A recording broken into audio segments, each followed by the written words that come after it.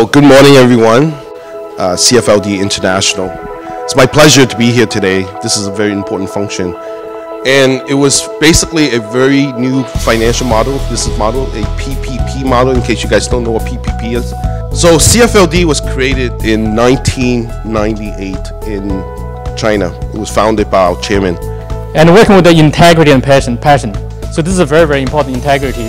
So I think the, the last one is what I want to touch on. It actually summarizes all the good points you guys mentioned just now. What exactly is a good business model that enabled? So quite a lot of good questions. So uh, thank you to Mom once again. Okay, thank you. And then